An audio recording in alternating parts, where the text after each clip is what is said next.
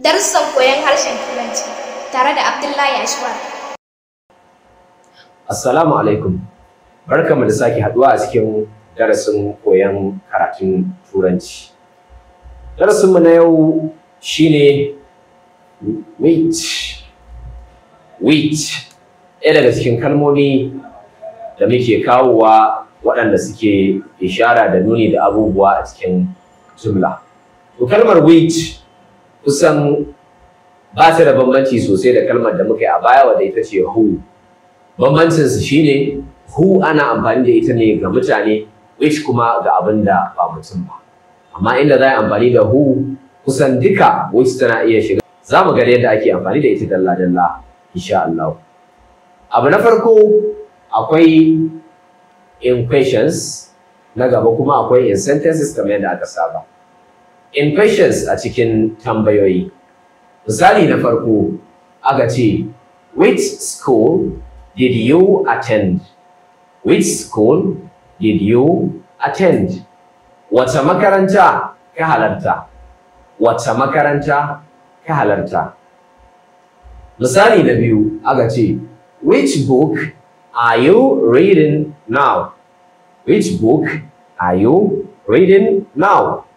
Wanne littafi kake karantawa yanzu?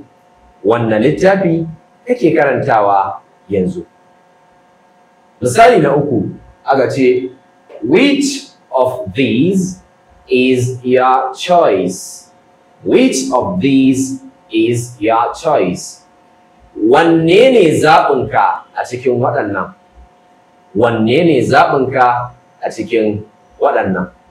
In mun lura cikin tambaya kalmar which tana zuwa da ma'ana ta wanne kamar yadda hu yake zuwa idan mace ce mace wacce. Sai kuma mu duba cikin jimloli yaya take zuwa. In muka duba da jimla ta farko aka ce the book which you read last week is here. The book which you read last week is here. Littafin da ka karanta satin da ya wuce yana nan. Littafin wannan da ka karanta satin da ya wuce yana nan. Misali na gaba. The cat which drank the water went away. The cat which drank the water went away. Kyanwar da ta sha ruwan ta ware. Kyanwar nan da ta sha ruwan ta ware. Misali na gaba, I can't see the paper which contain the information. I can't see the paper which contain the information. Ba zan iya ganin takardar da take ɗauke da bayanan ba, ko ba na iya ganin takardar da take ɗauke da bayanan.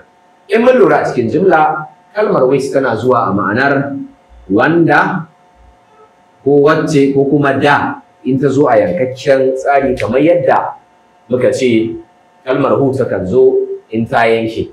Madadin a ce the cat which drank the water mu ce kyanwar wacce ta sha ruwan ko kyanwar wanda ya sha ruwan sai muka ce kyanwar da ta sha ruwan muka yi yankakken tsari na yankakkiyar kalmar Hausa. To kamar haka ne. Sai dai the cats that idan suka zo a da yawa muna sa musu kalmar that. Duk da shi ma tilo akwai kisa-kisan da suke zuwa iya sa mai that ɗin. Wannan da shirya ta gaice yadda kalmar which take zuwa a cikin jimloli da yadda ake amfani da ita. Muna fatan ana bibiya da sake maimaita domin ƙara fahimta kamar kullum. Mun gode da goyon bayan ku. Ma'assalam. Shirin Ashwar 360 TV ƙarƙashin jagorancin kamfanin Ashwar Media